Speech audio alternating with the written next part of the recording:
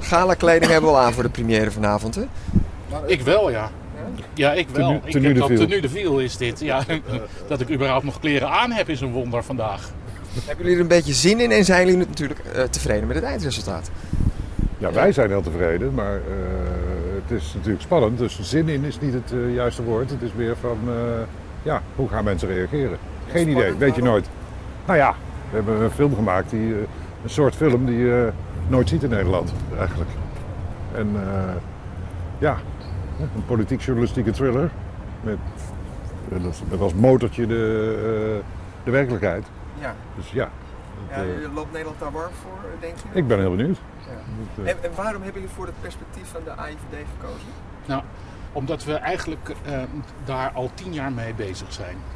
Eh, na de moord op Van Gogh ging de discussie in Nederland eigenlijk heel erg over eh, de islam en de islamdiscussie en wat we nou allemaal meemaken. Maar de vraag, eh, wist de AIVD of wist men eigenlijk niet dat Theo vermoord werd, die heeft ons altijd bezig gehouden. Want wij waren ervan overtuigd, eigenlijk al vrij snel na de moord, dat de AIVD meer geweten moet hebben. en wij niet alleen. En wij niet alleen. Officier van Justitie ook bijvoorbeeld. Ja, zelfs al op het proces Ja. zei de officier van justitie Frans Stralen... ik ben ervan overtuigd dat er meerdere mensen met deze moord te maken hebben gehad. Nou, dat heeft tien jaar lang eh, heeft ons dat bezig gehouden. Er zijn allemaal rapporten verschenen, onderzoeken zijn er verschenen, kamerdebatten zijn er geweest. Dat leverde gek genoeg weinig nieuws op in de kranten, maar wel nieuws waar wij steeds meer een stukje van de waarheid konden achterhalen. Maar echt rond kregen we het nooit. hè. Nee. Maar heb je het idee dat je het nu wel rond hebt dan? Nou ja, kijk, dat is het mooie van het maken van een speelfilm. Als we het rond hadden gekregen, dan waren wij wel zo verstandig geweest. Want we zijn alle twee journalisten om daar een hele mooie documentaire van te maken. Maar eh, eh, omdat we dat niet helemaal rondkrijgen. Kijk, het is AIVD, hè, die werken in het geheim. Hebben we dus nu daar een mooie speelfilm van kunnen maken. En een spannende speelfilm. Ja, maar alles wat jullie dus de afgelopen tien jaar hebben uitgevonden, dat hebben jullie dan nu Nou, alles. door- Nee, we hadden- doorgespeeld aan één vandaag? eh? We hadden er moeite- moeiteloos... Nee, nee, even, na- eh, even vandaag heeft gewoon Verstralen geïnterviewd. Dat, en dat is ook maar een aspect. En dat is eigenlijk wat Verstralen al tien jaar geleden ook al had gezegd een keer. Eh, interessanter is, en dat is een beetje onze hoofdlijn, is het eh, verdwijnen van eh, de afluistertapes, zeggen we altijd, maar het zijn tapes, eh, van Mohammed B. en alle andere Hofstadgroepleden. Die zijn maanden afgeluisterd. Maar is dat echt werkelijk hetgene wat jullie ontdekt hebben wat we nog niet wisten? Want je zegt zelf al, er zijn enorm veel rapporten wat- over geschreven. nee, nee. Wat in de- 2008, Ja, wat we doen in grondig de- onderzoek verricht. Ja, Wat ja. we doen in de film, we, we gebruiken, gebruiken het fictiemodel, hè, het handvat van de fictie, om al die feiten, want, want 95% van wat in de film langskomt en gepresenteerd wordt als feiten, zijn feiten. Eh, alleen, we verbinden ze aan elkaar en we leggen mogelijke conclusies. Ja. En we geven de kijker, we laten het aan de kijker over welke conclusie hij kiest. Er zijn er, zeg maar even grofweg, drie lijnen die je kunt volgen. De, de meest voor de hand liggende en de paranoïde-achtig eh, eh, eh, eh, klinkende lijn. Eh, maar die is ook behoorlijk realistisch. ja. Ja, maar wat is die meest paranoïde-achtige dan? Nou, Dat is dus dat, Dat dat, dat- ja, wat? is Ja, Dit is, voor. dit is natuurlijk zo spannend. Hiervoor moet je de film gaan bekijken. Ja. Deze enorm spannende film. Die Ja, maakt een weerzinwekkende conclusie. Maakt die helder en duidelijk. Dat je denkt, oh, waar zal het naartoe gaan? Ja, maar dat gaan we dus nu niet vertellen. Nee, Ja, geen maar ik heb spoilers. jullie er al wel wat horen over zeggen. Ik bedoel, collateral damage. Is dan Ja, het, eh, maar dat is maar een klein ding hoor. Dus, dus Theo is opgegeven voor een hoger doel. Ja, Nou, dat zou je zeker kunnen zeggen. Ja, Kijk, is- je moet het, Gijs, ik pik even jouw woorden. Ja, je kan het Mm. ook zelf zeggen, maar Gijs heeft het mooi uitgelegd. Eh, nou, zeg het zelf even over die collateral damage. Hoe je het moest zien als eh, de criminelen in de Ja, ja, onderwereld. vergelijk het met... eh, de recherche volgt een, volgt een groep dieven en die zijn van plan de bank te overvallen. Op welk moment grijp je in? Je wilt zoveel mogelijk van die dieven te pakken krijgen. En liefst natuurlijk wel net voordat die bank wordt overvallen. Maar ja, dat weet je niet. Je weet niet wanneer die wordt overvallen. En ik denk dat dat, dat is de meest aannemelijke lijn, dat dat gewoon gebeurd is. Men wist het, maar ja, wanneer? Wanneer? En je wilt zoveel mogelijk van die potentiële daders eh, te pakken zien te krijgen. Ja, dus wat dat betreft komt het heel goed uit dat nu weer in het nieuws komt. Komt ons goed uit voor de film. Dat er meerdere eh, eh, aanslagplegers waren. Ja, dat, maar dat is wel bizar Ja, nu. dat is ja, Daar dus hebben wij niet de hand in gehad. Nee. We hebben dat niet ingestoken. Nee. Dat is puur toeval. Nee, we hebben ook niet ISIS gevraagd om mensen te gaan onthoofden. Huh? Zo eh, vooruitlopend op de première van onze film. Want dat Ja, is jij, niet, jij hebt dat. Oh, dat was jij dat. gebracht. Ja.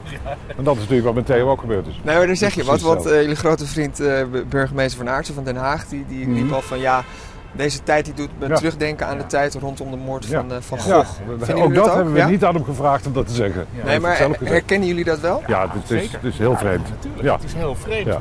We maken voortdurend mee, of je ziet nu, de, voortdurend worden we geconfronteerd met elementen die ook al aanwezig waren in die, in die slagpartij op Theo natuurlijk. En eh, dat, dat is gek om dat te, om dat te zien en dat Ja. is merkwaardig om dat mee te maken. Ook omdat wij deze eh, de hele tijd bezig zijn geweest met die film, weet je wel. En dan, eh, ja, dan zie je dat nu weer. En wij hebben tien jaar geleden tegen elkaar gezegd, god hoe zou het over tien jaar zijn? Nou, het is alleen maar erger geworden. En, eh, ja, en dat is wel cynisch om mee te maken eigenlijk. Maar die angst die mensen nu dus hebben, die is zeer terecht dan ook. Ja, dat eh, zeker ja. ja. Net, net terwijl jij ons interviewt, heb ik net eh, op mijn telefoontje gelezen dat eh, aan militairen gevraagd wordt om niet in uniform in de stad te gaan, omdat ze een eh, potentieel object voor onze fijne ISIS-broeders eh, eh, kunnen zijn. En ja, dat is, dat, dat, dat, dat is iets waar je echt bang voor wordt. Ja. Ik word daar in ieder geval wel bang voor. Het wordt, we kijken al een beetje over onze schouder tien jaar lang. Maar nou eh, is het echt ook weer tijd om de putdeksels en de vuilnisdeksels op te lichten. Maar is het dan toch, ja, hoe cynisch ook, is het wachten op die volgende aanslag? Maar het is letterlijk wat eh Halbe Zijlstra eh, eh, zondag zei eh, na, een, eh, na een televisieopname waar ik ook bij was. En toen zei hij zo eh, heel blunt, eh, de vraag is niet of, de vraag is alleen wanneer, Ja, qua aanslagen. ja. Dus dat, men gaat er gewoon in Den Haag ook gewoon vanuit, er gaat iets gebeuren. Of een hele hoop dingen. Ja. we weten alleen nog niet ik weet wanneer. alleen nog niet wanneer. Of waar? Of waar. Amsterdam. Ja. Ja. Could be anywhere. En wie. Gelukkig is het nu vooral in Den Haag. Hè? We hebben wel gefilmd in Den Haag, uitsluitend gefilmd in Den Haag. Ja, ja, ja. Wie is die wolf eigenlijk in de film? Dat, eh, Joris is- Demming, denk ik. Nee, nee, nee, nee. gek. Dat is een, eh, eh, een Mohammed Bouyeri. Die heeft onder de naam Abu Zahir. Heeft hij een, eh, eh, op internet is hij altijd heeft hij een, een, een, stukjes geschreven. En een van die stukjes dat was hoe vang je een wolf? En hij legde Hoe vangt een Eskimo Sorry, hoe vangt een Eskimo een wolf? Ja. Hoe vangt een Eskimo een wolf? En hij legde uit, die Eskimo, die smeert bloed aan zijn mes. En die steekt dat in het sneeuw om het te laten bevriezen. Dan doet hij er weer een laag bloed op, steekt het in de sneeuw om het te laten bevriezen. En zo gaat hij door. Bloed, eh, bloed, sneeuw, bloed, sneeuw, bloed, sneeuw. En op een gegeven moment steekt hij het mes recht in de sneeuw. En dan komt de wolf aansluipen en die ruikt bloed. En die likt aan het mes. En op een gegeven moment komt dan het mes in zijn keel terecht en is hij dood. Dat gebruikte Mohammed Bouyeri als metafoor voor zijn strijd tegen het Westen, tegen ons. En dat vonden wij een heel mooi uitgangspunt om dat even in de film te benadrukken. Ehm, wat vinden, hebben jullie al een reactie gehad van mensen zoals uh, Siebrand van Hulst of Joris Demming? Nee. Die dan natuurlijk worden opgevoerd als echte personages en begrepen- jullie allerlei dingen laten zeggen? Ja, maar dat hebben we expres. ge- Kijk, het is, het is laf en ook onzin om de echte namen niet te gebruiken. De directeur toen, van het hoofd van de IVD, heette Siebrand van Hulst. Dan kun je daar wel eh IJsbrand van Sluis van maken. Maar ja, dat is flauwekul natuurlijk. En eh, Joris Demmink is puur toeval. Dat, eh, die was gewoon. Ja, die was, ja dat, heeft, dat, heeft niets met de film te maken, zit er ook niet in. Hij was toen gewoon de machtigste ambtenaar van Nederland, secretaris-generaal van Justitie. Ja. En in die zin gebruiken we hem als karakter. En inderdaad, Remkes heet Remkes en Donner heet Donner, et cetera, et cetera. Ja, en, en wat verwachten of hopen jullie dat er nu gebeurt? We zitten te wachten op een brief hè, op dit moment nog van Plastic Ja, die eraan blijkbaar. komt. Ja, ja, Ja, ik ben weer heel benieuwd. Ja. Ja. Kijk, het, dat is, ook dat komt wel mooi uit, want wat je in de film ook ziet, de politiek weet eigenlijk niks. Dat, is, dat kan ook niet. Je bent namelijk een geheime dienst. En een geheime dienst, alles wat een geheime dienst vertelt aan een minister, of aan welke politicus dan ook, dan is die minister verantwoordelijk voor die geheimen. Dat kan helemaal niet, want dan kun je niet meer geheim zijn. Maar politiek kan toch gewoon een vuist maken om te zeggen van wij willen die tak verslagen van voor die moord. Ja, dat, dat kunnen, kan. ja, Dat ze kunnen daar onderzoek naar laten Dus doen. Dat is niet ingewikkeld. Nee, dat is niet eh, ingewikkeld. Dat zou fijn nog zijn. nooit gebeurd, dat, eh, Ja. En het is nooit gebeurd. Nee. En dat is het rare dat dat nooit gebeurd is na al die onderzoeken die er zijn geweest. En wij hebben er ook op aangedrongen. Ja. Van eh, onderzoek die taps van voor 2 november. Ja, maar dat, toen werd er gezegd destijds, daarvoor hebben we geen mandaat gekregen van de Tweede Kamer. Kijk, het, wat het is, dat in de Tweede Kamer zitten politici eh, die eh, het kabinet moeten controleren. Maar die politici, dat zijn geen journalisten. Politici zijn buitengewoon goed in het debatteren. En journalisten zijn heel goed in het onderzoeken. En daarom heb ik En zelf- doorvragen. en doorvragen, Ja. vooral ja. En daarom heb ik zeker meer vertrouwen in, in, in journalisten dan eh, in politici wat dat betreft. Maar als jullie het na tien jaar nog niet boven water hebben, waarom is je Ja, hoop dan wel dat die Nou ja, nou, dat je kijk, je komt niet in die kast. Snap je? Die komt niet in die... De IVD de heeft. Mag ik eerst, eerst, eerst volgehouden van de... Wat wil jij zeggen? Nee, nee, nee. Oké. En eerst waren die taps weg, gewoon eh, weggegooid. Een half jaar later eh, meldde minister Remkes dat ze... Nee, ze waren niet weg. Maar ze konden niet vrijgegeven worden wegens bronbescherming. Ja, welke bron dan? Hè? Dus, en daarna waren ze toch weer weg. Ja. Kijk, een instelling als de IVD gaat niet zomaar iets weggooien. Dus dan zit het ergens in de kast, zou je kunnen zeggen. Ja. En dan kun je vanuit. Ja. Dus ja, je moet, en wij journalisten eh, en filmmakers, ja, wij komen die kast niet in. Huh, Maar eh, de macht wel, hopen we. Dat het jullie nooit meer loslaat, dat lijkt me vrij logisch. Mhm. Maar zien jullie misschien toch ook dingen die er niet zijn? Wij zien altijd dingen die er niet zijn. Altijd. Het is heel raar. Daarom heb ik ook een bril op. ja, ja, kijk. Ik begrijp je vraag wel. Of wij misschien lichtelijk paranoïde zijn geworden door alles wat er eh, rondom ons heen gebeurd is. Eh, interessante vraag. Tien jaar geleden zei men ook: zien jullie geen dingen die er allemaal gebeurd is? Overschat je het niet allemaal wat er maatschappelijk aan de hand is? En ik zou bijna willen zeggen: zie wat er op het ogenblik aan de hand is. Eh, destijds vond men ons ook al paranoïde. Zie wat er op het ogenblik aan de hand Het was een Ja, incident. is anders. Ik bedoel, dat die terreurdreiging is toch iets anders van hoe onze eh, veiligheidsdiensten Ja, opereren, maar de reactie is, Ja, dat, is daar, daar hebben we die film ook voor gemaakt. Het gaat niet om paranoia of dat soort dingen. Waar het mij, ons vooral om gaat, is de naïviteit een beetje eh, weghalen bij de gemiddelde Nederlander. Iedereen, wij, wij merkten heel erg in onze researchperiode, in onze schrijfperiode, gewoon als we aan vrienden en bekenden vertelden waar we mee bezig waren, dan gaven we wat voorbeelden. En dan was stevast, was dat het, oh, maar dat is toch niet echt gebeurd? Ja, het is echt gebeurd. Dat moesten wij dan steeds zeggen. Echt waar? Nou, het, ging echt om feiten. Hè? Dat, en dat zit zo ingebakken in de Nederlander van... Dit is een goed georganiseerd land. Hier gebeuren geen rare dingen. Hier is geen corruptie, hier is geen... nou, eh, het is precies hetzelfde als in any other country. En dat is ook heel normaal. En, eh, maar die naïviteit, die irriteert mij het meest. Ja, ja absoluut. absoluut. Dus het, het is wat dat betreft, er zijn zoveel, we hebben zoveel weg moeten laten van Ja. ongeloofwaardige dingen. Eh, anders Die wel waar waren. anders, zouden, anders zou het nog ongeloofwaardiger worden. Mhm. En eh, je wilt niet meteen als een sprookjesfiguur te boek staan. Nee, daar heeft, de regisseur heeft daar, dat was echt zijn, eh, zijn kracht. Thomas Kortesaltes. Die eh, tikte ons dan op de vingers dat we te veel gingen uitweiden en weer eh, de Ja, ja, eh, ja. verhaallijn erbij haalden, et cetera. Nee, zei hij, stick to the story. Het moet een spannende film worden.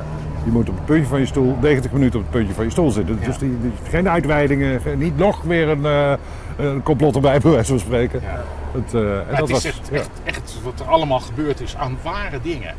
Dat is eh, dingen die echt gebeurd zijn. Daar sla je stijl van Ja, achterover. als je ze naast elkaar legt, daar gaat het om. Ja. Je kunt alle, beide alles wat in het scenario staat, kun je op internet vinden. Ja, of in kranten. Of in kranten, Ja. in de rapporten, et cetera. Het is gewoon allemaal openbare bronnen.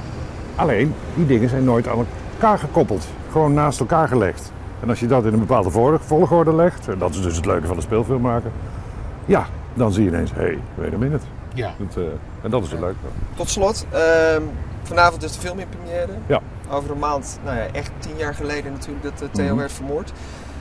Is dit dan weer een soort van herdenking anders dan alle andere jaren? Is het toch nog weer iets wat... Nou ja, dat hopen we wel. Kijk, Meer. dus, eh, wat ik bijvoorbeeld wel, eh, los van ons film, eh, zie je dat het dan in AI en op het filmfestival, et cetera, de aandacht nu ook eh, veel meer gericht is op Theo als filmmaker. Ja. En, eh, want dat was natuurlijk altijd zijn mission, die klote film en, eh, en het eh, islamdebat, et cetera.